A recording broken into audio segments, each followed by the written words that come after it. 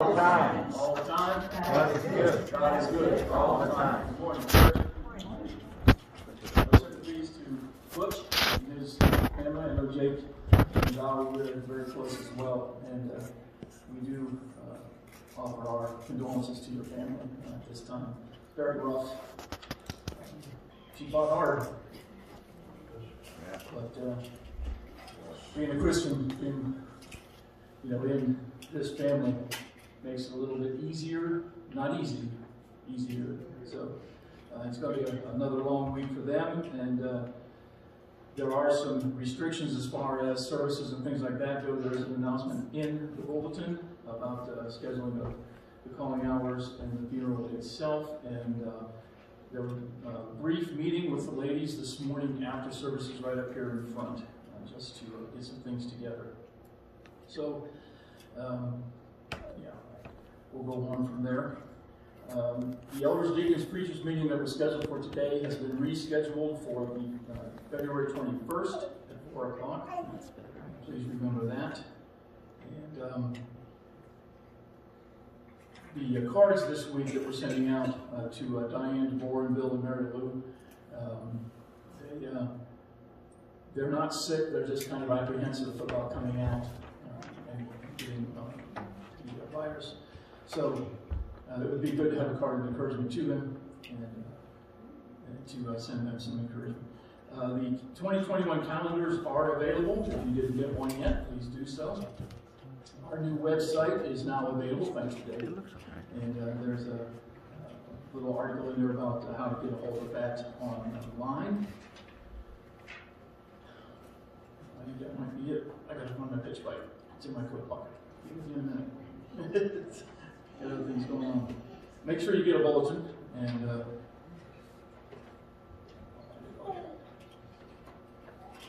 thank you for that. in there? Thank you. um, Brother Willie is uh, scheduled for surgery on the uh, 15th uh, to remove the uh, benign tumor that is uh, his, his third eye. Okay. So ask for prayers on his behalf. There's a lot of doctor's appointments and things between now and then. So again, his surgery is scheduled for the 15th. So I think that's about all I've got. There are other things in the bulletin. Please look them over. Barb does a wonderful job when it comes to this bulletin. I've seen others that Amen. aren't here as good as this one. So thank you. Okay, our numbers are low, but we can still worship. So let's do that.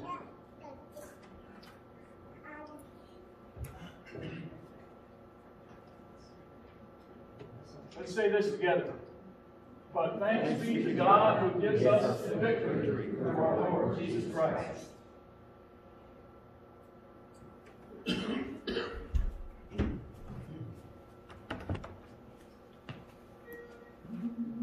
I sing praises to your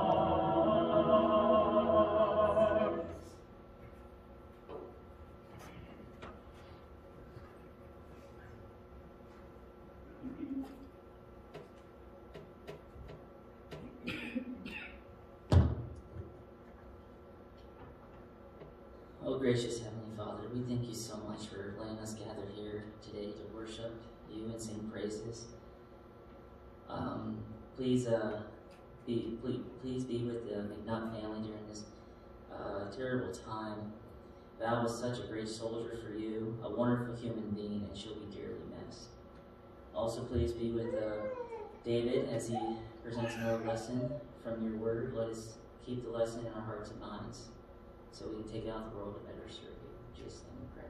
Amen.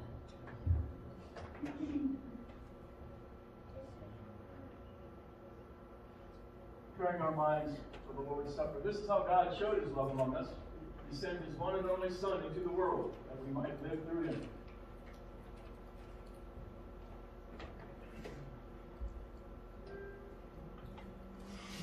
I gave my life for thee,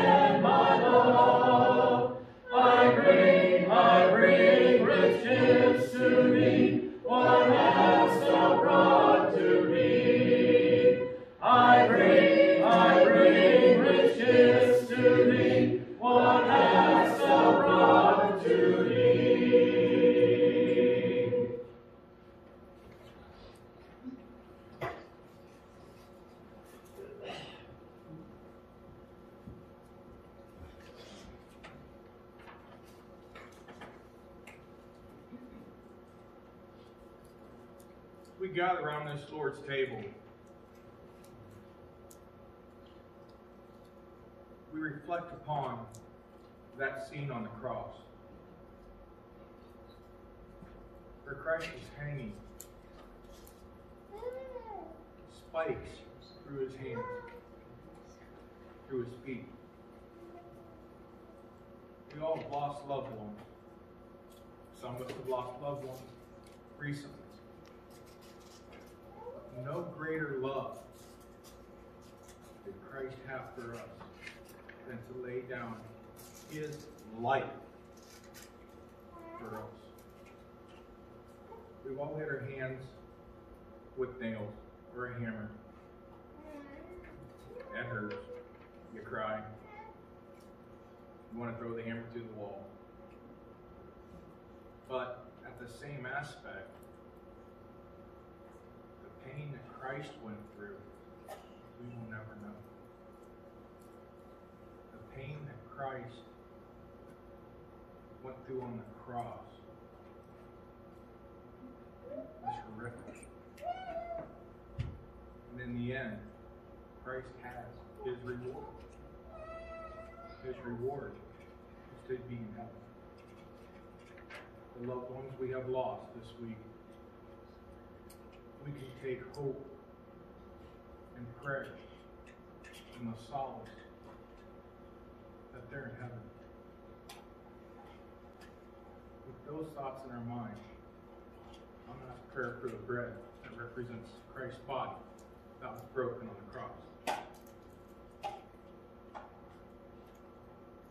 Our dear and gracious God, we thank you for sending your only Son to die on that cross. As we partake of this bread that represents his body that was broken on the cross, let us reflect upon that to give us the strength and the courage to keep fighting the good fight for you. For it's your son's name we humbly pray. Amen.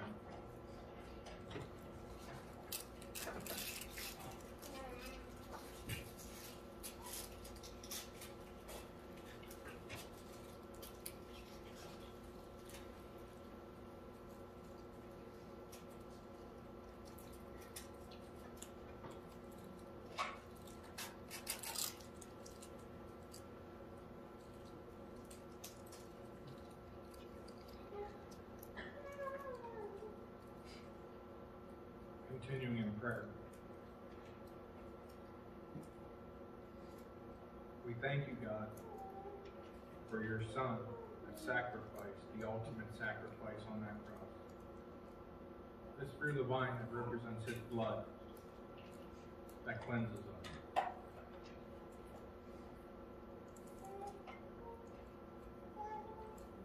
We thank you for giving us that ultimate sacrifice that we can have the hope and promise of eternal life with you one day in heaven. For your son's name, we humbly pray. Amen.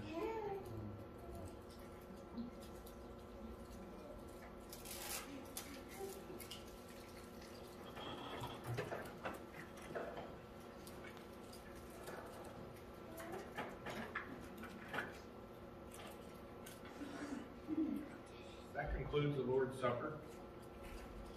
We have another act that we are told and commanded to give a portion of what we've been blessed with. Living on this earth, the benefits we have, the blessings we have. It truly is great to call ourselves a Christian. We are commanded to give a portion of that as what we have been blessed with back to the Lord to help him further the work here and throughout the world. You please bow your heads and pray with me.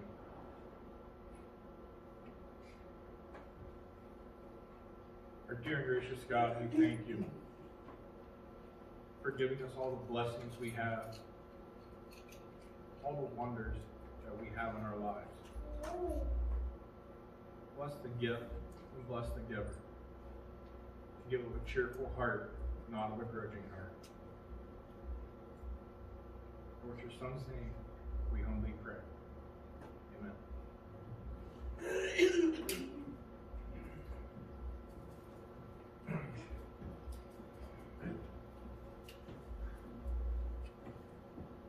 I know how rough that was. I asked Jake earlier in the week, I said, you know, do you want me to replace you? He said, no. Said, just nod at me, I'll come up. Good job. Let's stand as we sing this next song, but we're going to recite this too. I'd like to hear that. It is the Spirit who gives life, the flesh is no help at all. The words that I have spoken to you are spirit and life.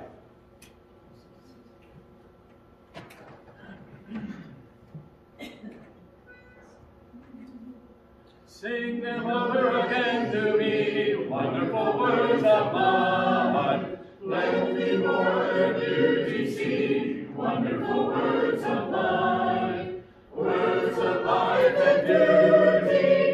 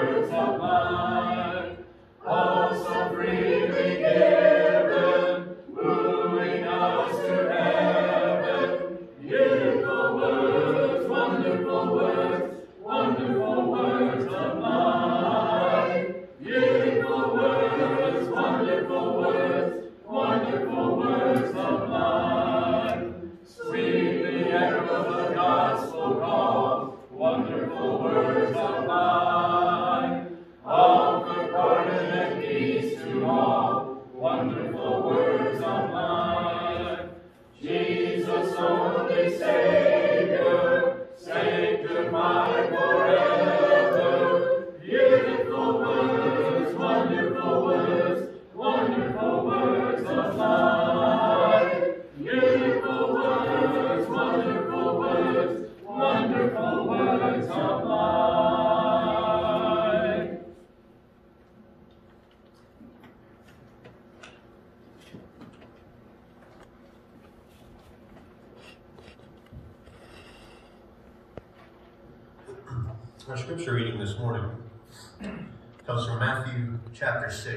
verses 19 through 24.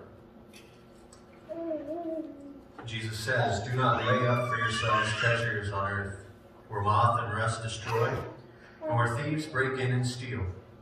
But lay up for yourselves treasures in heaven, where neither moth nor rust destroys, and where thieves do not break in and steal.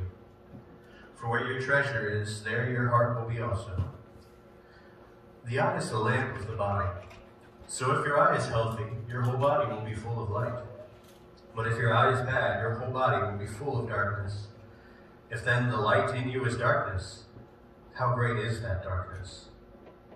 No one can serve two masters, for he will either hate the one and love the other, or he will be devoted to the one and despise the other.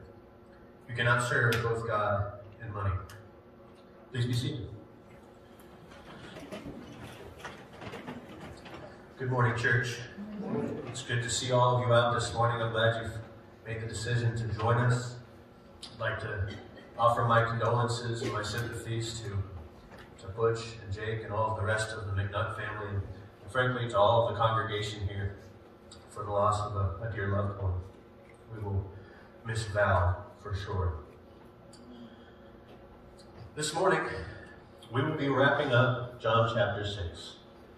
We're, we're done, I promise. I promise you, Mike, we're done with it. Today is the last one for John chapter 6. And if you have your Bibles, I invite you to open up to John chapter 6, and we'll be working through verses 60 through 71 today. Now, as I was looking over the passage this week, getting the lesson prepared, I couldn't help but think to myself that this passage would make a great soap opera. It would make a great soap opera. There's so much going on, and if, if you're one of those people who like soap operas, it's okay, but I will ask you to come forward at the end of the service. But we'll see in our text that there is continued grumbling, there is conflict, there's this big reveal of truth. It's life changing truth. There's scandal, there's renewed and refreshed commitment, there's betrayal. You see why it says it's, it's a soap opera? There's so much it. I'd like for us also to remember where we've been. We've been in John chapter 6 a while, and we've covered a lot of stuff.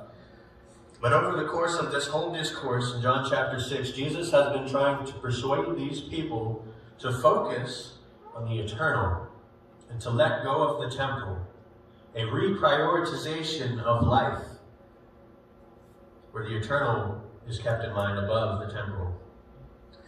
He's been trying to get the people to come to a point of belief in Him as the Savior that they need through this message that he's been proclaiming.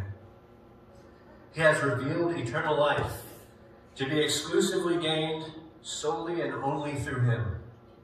There is no other option of gaining eternal life through any other means. And all of this, everything that Jesus has said thus far, has been validated through the sign that he had performed just the day before. Remember, this is just all within a one day span where he fed the 5,000 loaves and fishes. You recall, too, at the end of the book of John, he says that signs were for the purpose of bringing about belief in Jesus as the Son of God, and that by believing you may have life in his name. That was the whole point of every single sign that Jesus did, was to bring, bring about this belief. And yet we'll find out as we conclude this chapter that the people did not believe. They were left in their unbelief, despite the sign that was given. And instead of wanting to force Jesus to become their king, they end up abandoning him, as we'll see in verse 66. Now, all of this, this, this abandonment, was due in part to the, the message, but also with the way that the message was given across. This harsh language, as we discussed last week. You remember things Jesus said, like he came down from heaven? That would have been offensive to their ears.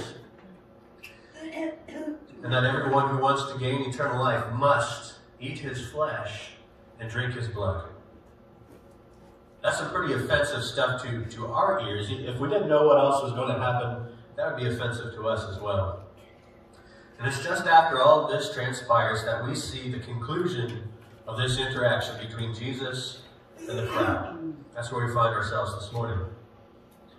I'd like to ask you, though, how do you think you would respond to all of this information? If you were back, back in the first century, you didn't have the New Testament, you didn't know that Jesus was going to die on the cross, you didn't know any of that, and you're hearing all of this for the very first time, uh, I believe I would have a hard time stomaching everything that Jesus has just said. You have to cut them a little bit of slack, just a little bit. They said, let, well, let's read in verses 61, or I'm sorry, 60 through 62, and then we'll get into this. When many of his disciples heard it, they said, This is a hard saying. Who can listen to it? But Jesus, knowing in himself that his disciples were grumbling about this, said to them, Do you take offense at this? Then what if you were to see the Son of Man ascending to where he was before? text tells us how the crowd felt about it. We might be able to identify with this crowd. They responded with the usual grumbling and taking offense to this truth that Jesus has just proclaimed. They said this is a hard saying. It was harsh on their ears. It was difficult to receive. And yet, rather than wrestling with the information, asking for further clarification, trying to understand what Jesus was trying to say, they just dismissed it. Who can listen to this? We're all too like that in a lot of ways. When we don't like truth, we want to dismiss it rather than wrestle with it. And so Jesus, in response to their unbelief, asks them a couple of really great questions. We'll pick on those in a little bit more detail right now. He says, Do you take offense at this? Do you take offense at this? Now, this is interesting. Here's our, our brief Greek lesson for today. The word offense comes from the word scandalizo. Scandalizo, scandalous, scandal. It's the same word that is, is used in Matthew chapter 5, verse 29, where Jesus is talking about the lustful eye. If your eye causes you to lust, it causes you to stumble. If it causes you to stumble, what are you to do with it? You're to pluck it out and throw it away. It's the same kind of meaning that we see here, the thing that is causing you to stumble in sin. So Jesus is saying, all right, everything I've said to you thus far, if that's causing you to stumble in sin, what about this? And what does he say? What if you were to see the Son of Man ascending to where he was before? That would have really tripped them up. That's because the Jews would have immediately picked up on what Jesus was saying.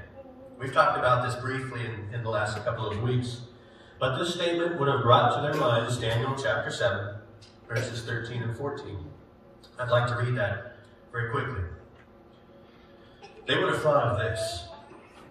I saw in the night visions, and behold, with the clouds of heaven there came one like the Son of Man. And he came to the Ancient of Days, and he was presented before him. And to him was given dominion, and glory, and a kingdom that all peoples, nations, and languages should serve him. His dominion is an everlasting dominion which shall not pass away, and his kingdom one that shall not be destroyed. Amen. That's the kingdom we're hoping for. This is the illusion that Jesus is making to these people. He's saying, guys, I am this guy. I am the Son of Man. If all these things I've said before are going to trip you up so badly, what about seeing me coronated on my throne and having an everlasting dominion over all things? You think that would have tripped them up? Perhaps. They would have recognized what Jesus was saying. We'll see this very event take place in Acts chapter 1. If you look in your Bibles, this is where it all takes place, where he ascends back to heaven and is seated on his throne. Do you think this would have settled the dispute and ended their grumbling? Perhaps not. I don't think it did. But I can only imagine just how stunned they would have been hearing this information, hearing this claim. And as stunned as they were, what Jesus does is he simply goes back to repeating the same message that he's been giving them all along in verses 63 through 65. Now, I'd like to read through that with you together. And you'll notice as we read through that there's a, a parenthetical statement that's in there. It's a commentary from the author, John. And so I'd, I'd like to read through it without the commentary and then go back through and talk about the commentary. So just bear with me there. Jesus, going back to his message, says, It is the Spirit who gives life. The flesh is no help at all. The words that I have spoken to you are spirit and life. But there are some of you who do not believe. Verse 65, and he said, This is why I told you that no one can come to me unless it is granted him by the Father. I'd like to I'd like to say this that this information is information that Jesus has already given us. Before we get tripped up on what he has said that nobody can come to the Father unless it is granted unto him, he has already spoken about this. We've already broken this down. So I'd, I'd like to break down what Jesus has said into a couple of parts here. Let's look at what he says. It is the Spirit who gives life, and it is not the flesh. It is not the flesh. The flesh does not contribute to us gaining life. If our flesh could contribute to us gaining life, then Jesus' death is not a necessity. If we could do it on our own apart from Jesus and apart from the Spirit, then everything that Jesus went through, his cruel death on the cross, was pointless. It was unnecessary. The Spirit gives life, and the flesh is no help at all. Jesus also says that it is the words that he has spoken that are spirit and life. That is to say that life is derived from the very words of God. What he has said is where we find our life, when we encapsulate it, we take it in, we absorb it, and we live it out. Pardon me. Let's look at this, this next thing. Look at the very first word that is said in verse 64. But. Your, your translation might say something differently, but there's a contrast that is being made. Contrast being made between those who don't believe and those who do believe, believe, and those who don't believe are not gaining life from Jesus' words. And those who don't believe are also those who are still relying on the flesh, at least in part, instead of the Spirit. And Jesus concludes his thoughts in verse 65 I told you, no one can come to me unless it is granted him by the Father. As I said, that Jesus has already given us this information. He is reiterating himself as he closes out this conversation with the crowd. How one comes to the Father has already been explained to us in verses 44 and 45. So let's go ahead and read those again just to refresh our memories. Jesus says, No one can come to me unless the Father who sent me draws him, and I will raise him up on the last day. It is written in the prophets, and they will all be taught by God. Everyone who has heard and learned from the Father does what? Comes to me. Anyone who has heard and learned from the Father, anyone who has been taught by God, comes to me. This is why personal evangelism cannot be excluded. Why it is so important that personal evangelism takes place. it's, it's important because people must be taught of God if they're ever going to be drawn by God. Those who never hear of Jesus, we can't expect them to be drawn to him. But if they're taught of him, they can be. This is also why it's so important that we know the gospel in and out, that we're able to present it to people, that they can learn and be drawn. Now I'd like to turn and address this commentary that, that John throws in there in verse 64. in your parentheses, you'll see something that says, For Jesus knew from the beginning those who, those, from the beginning who those were who did not believe, and who it was who would betray him. Jesus knew he was going to be betrayed. He already knew. He has divine foreknowledge. He already knows the end from the beginning. And yet, what's so amazing is knowing this, knowing that he would be betrayed, and knowing how he would be betrayed, he continues in his ministry. How difficult do you think that might have been, knowing what lies ahead? Knowing how things are going to end for you, at least this side of the cross. How difficult it would have been to continue. And then we also see that our narrative starts to take a turn from general unbelievers and general unbelief to a specific individual. And the rest of this thought picks up really at the end of the chapter in verses 70 through 71. Jesus answered them, I did not did I not choose you, the twelve? And yet one of you is a devil. He spoke of Judas, the son of Simon Iscariot, for he was one of the twelve. And he was going to betray him. Now what's interesting is that Jesus ends his statement with saying one of you is a devil, and that's the end of it.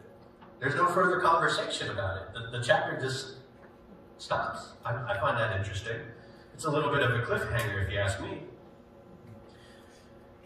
But after all of this, all that Jesus has said, all that Jesus has done, it leads to what I consider to be a terribly tragic, tragic scene. Terribly sad moment. Verse 66. After this, many of his disciples turned back and no longer walked with him. Doesn't that break your heart? It should. People have made the decision to reject their Savior and reject the offer of eternal life that is within arm's reach. Many of them turned back and no longer walked with Him. We have just seen this great division take place. We are separating the wheat from the chaff, so to speak. This great division has taken place between the superficial disciples who just wanted to get something from Jesus and those who were committed. Jesus 12. The truth. Truth has this kind of effect, doesn't it? When truth is presented, it causes division. There is no way around it. Truth causes division between those who will adhere to it and incorporate it into their lives and those who will reject it. There is no middle ground on truth. Something is or it is not. Are you going to believe it or are you not? And this is what Jesus has done with his truth. It divides men. It divides men, or men change it to suit themselves. That's the nature of truth. We see that a lot in our culture today, don't we? It's a hard time discerning what is truth in this world anymore. Thankfully, thankfully we have it. We have the truth that we need. What sometimes happens instead of walking away from Jesus, or at least we like to think it's not walking away from Jesus, is we create a Jesus that doesn't offend anybody. His truth doesn't offend anybody. He doesn't step on any toes. We create and believe in a Jesus that doesn't require us as his followers to pick up a cross and die daily. That's the Jesus that we have committed to following, those of us who are Christians in this room. We believe in a Jesus that only requires us to do things that we agree with and that we like. Not the one that expects us to work hard and lay down our lives for the benefit of others. We don't like that. The crowd wasn't given that option in our text. They weren't given that option to, to come up with some kind of phony Jesus that they liked. They had to make that decision then and there. And they made theirs when they walked away. After this, Jesus then turns and offers this very same decision, the same choice to his chosen twelve in verse 67. So Jesus said to the twelve, Do you want to go away as well? Do you want to go away as well? Are you committed to me or not? That's another way of saying it. How do you think Jesus felt at this moment? Seeing the multitudes walk away, knowing what was ahead for them, remaining in their unbelief. We can only really speculate, but we can speculate based upon our own human experience. Remember, Jesus was human as well. Perhaps he was angry or frustrated. Perhaps he was heartbroken and sad. Had pity on the crowd because they didn't know what they were walking away from. We can only speculate. And as sad as it is that they walked away, look at this incredible, hope filled statement in the following two verses, verses 68 and 69. Simon Peter answered him, Lord, to whom shall we go? You have the words of eternal life. We have believed. We have come to know that you are the Holy One of God. Amen. Oh, oh, that we would be like Peter. Oh, that we would come to this realization, the same one that he has, that we would come to the same kind of belief that he has every day of our lives. When we face trouble and adversity in our life, that we, we would stop and say, Where else am I going to go but Jesus? He has the words of life. He has what I need to get me through. That we would be like Peter. This is the statement of a sold out believer. Somebody who is all in. Now we know that he denied him later on. But at least in this moment, he knew what he needed to do. No, he was on the right path. This is someone who has realized that there is nowhere else to go and no one else to go to but Jesus. There is no doctor. There is no lawyer. There is no investment banker. There is no counselor, and there is no politician on this earth that can give us the eternal life that we need. Amen. We can thank God for that.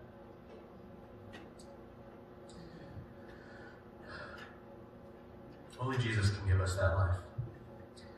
The problem that we'll see as we continue in this chapter and the chapters to come is that not all of Jesus' disciples were like Peter. Not like Peter sometimes, myself included. We come to find out that Judas will go on to betray the one who gives eternal life. Our text calls him a devil. The Greek word is diabolos. It means an enemy, an adversary, a slanderer. Remember, he was also one of the chosen twelve. Jesus handpicked him for this. Remember, he also walked with Jesus daily. But his proximity to Jesus didn't help his unbelief. He still didn't believe. Now, this word betrayal is the same word that is used when Jesus gives up his spirit on the cross. And remember that Jesus is breathing his last moments, and it says that he gave up his spirit. Gave up. What we're looking at here when it says that Judas would betray him is we're talking about a willing sacrifice. Willing sacrifice. Gave him up willingly.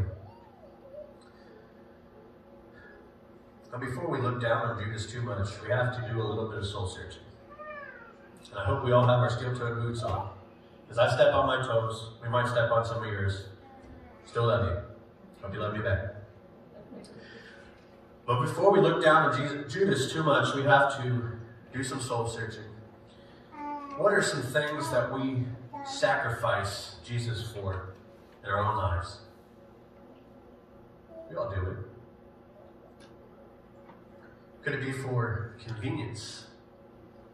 You know, I've I've said it before how much I have really loved online services when the COVID was really bad. And we should we should appreciate them. They are an excellent tool. They are great for when things are bad and we want to be safe. But when they become the replacement for fellowship with each other and fellowship with our Lord, that's a problem. We need to be safe and take our precautions, but we cannot let it slip into the realm of convenience for convenience's sake. To go with that comfort, do we sacrifice our time with our Lord for the sake of comfort? There are times when I'd just rather lay in bed all day or lay on the couch all day rather than spend some time in prayer, reading my Bible, coming to, to fellowship with my fellow saints. Perhaps you can identify with that too. Perhaps we sacrifice Jesus for the sake of avoiding conflict. Well, the truth of the matter, church, is, is if you're a Christian and you are a faithful Christian, you're going to encounter some conflict with the world. There's no ifs, ands, or buts about it. The world is hostile towards Christ, and if you are with Christ, they're going to be hostile towards you. Perhaps we sacrifice Jesus for the sake of avoiding that conflict. To go with that, that can translate into appeasing friends and family and co-workers who are hostile towards God and His gospel. We don't want to deal with that. I'd like to remind us also that none of these things, convenience, comfort, avoiding conflict, our friends, our family, our co-workers, none of those things can give us the eternal life that only Jesus can.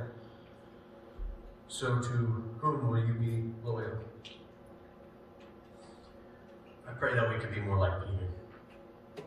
Make that great realization and we cling to it every single day. Maybe you're realizing today, like Peter did, that Jesus alone has the words of eternal life. If there's anybody who's not a Christian in this room already, I don't think that applies to anybody today, but I hope you come to that realization. If you are a Christian already, I hope you cling to that realization as well. We'd like to help you become a Christian if you're not. If you're viewing online, that applies to you as well. We want to help you in any way we can. Maybe you're already a Christian, but you view yourself kind of like a Judas right now.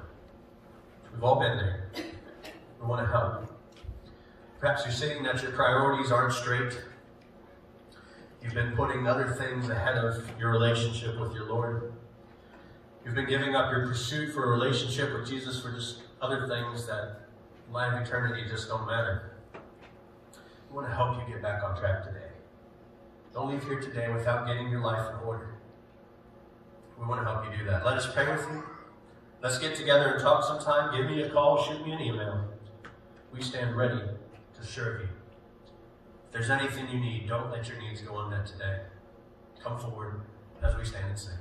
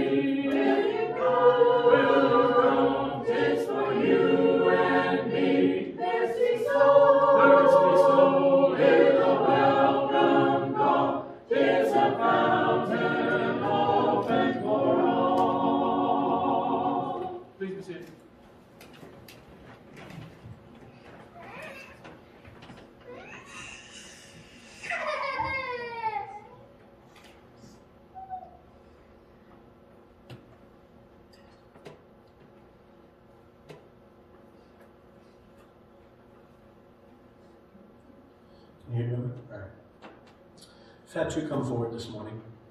Our sister Ruth Cato and our brother Jake McNutt. I'd like to begin with Ruth.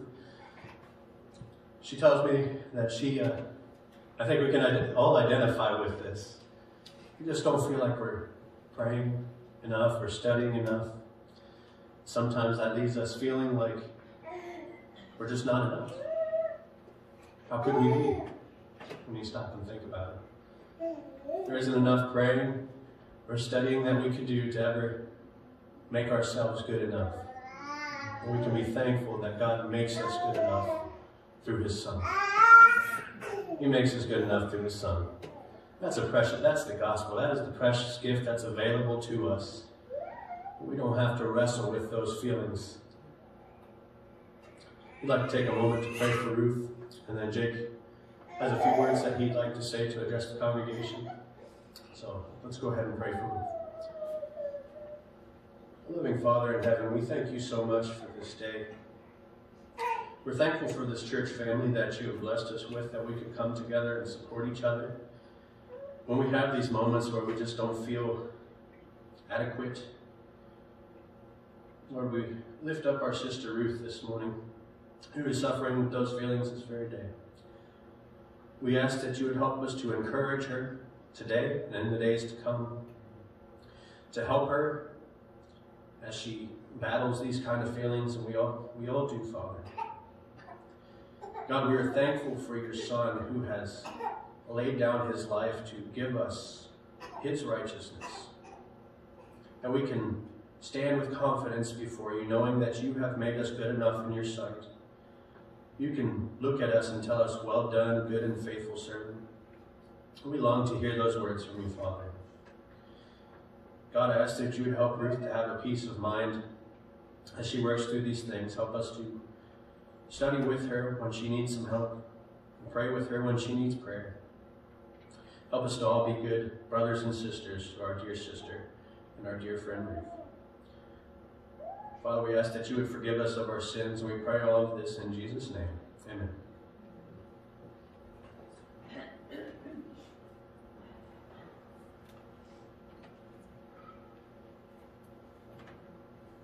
I would have Brother David say this, but I want to say this from my heart.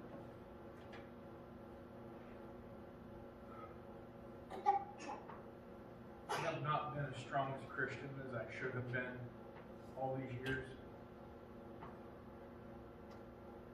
I have let many things get in from the world get into my life. I have I have been battling a tobacco issue for going on over 27, over 25 years. I thought I could beat it on my own. I cannot. I have tried. I have said things to my family that has hurt my family.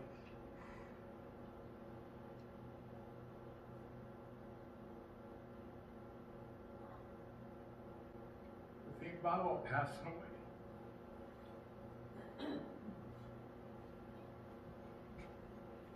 I want to make sure my life is right with God when that time comes for me. And I just wanted to let the congregation know those are the issues that I have been dealing with. Being a Christian is never easy,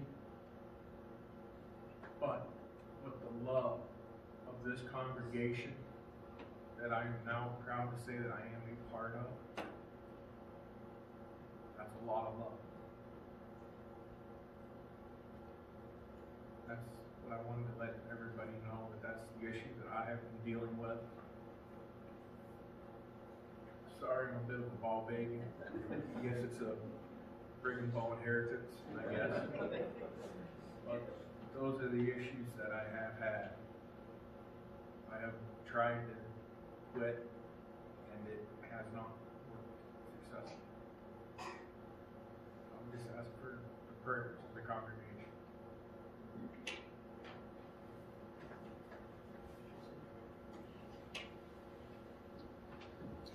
Have a prayer for our brother Jake. Jake, we thank you for your your humility to come up and speak. It takes a lot. Father, we thank you once again for all the blessings that we have in this life. What a blessing it is to have Jake among our number, to be our brother and our friend. Lord, we're thankful for his humility and willingness to come up here and speak from his heart. I know that he's feeling rather raw this morning with everything that's transpired in this last week. God, we lift him up in prayer this morning because we know just how strong the vices of this world can be. We'd ask that you help us to be an encouragement to him and be a, a person to talk to when he's struggling with those things. We're thankful that he has this repentant heart, that he wants to get away from these things.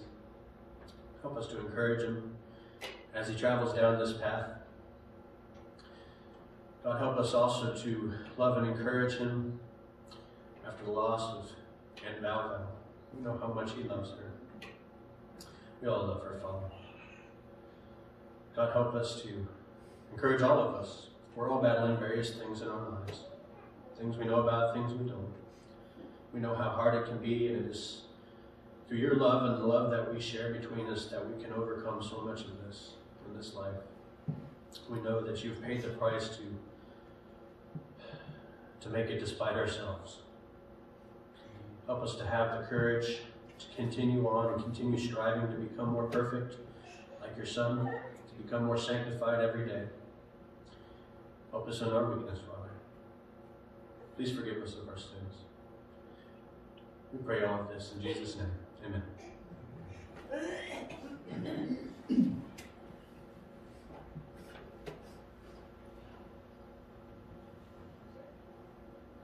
There are people in this congregation today who have fought the same battle.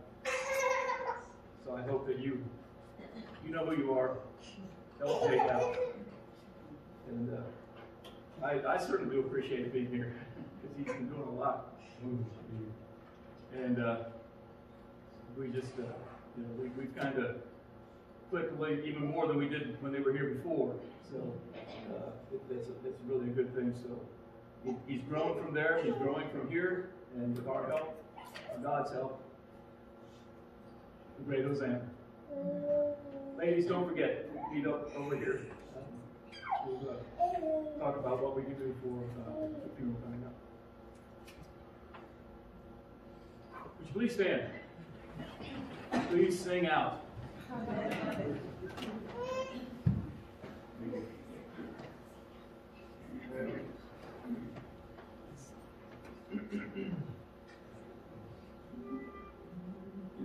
Hosanna, Hosanna,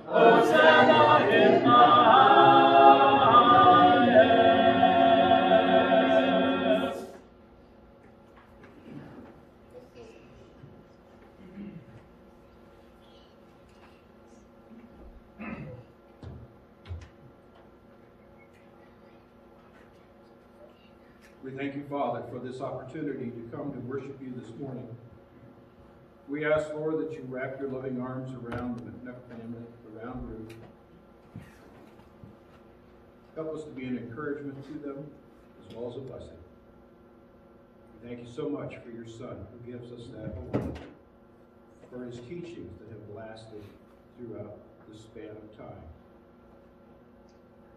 As we leave here this, this morning, Father, allow us to take you with us. Watch over us, keep us safe. Hold us in your loving hands. In Jesus' name we pray. Amen.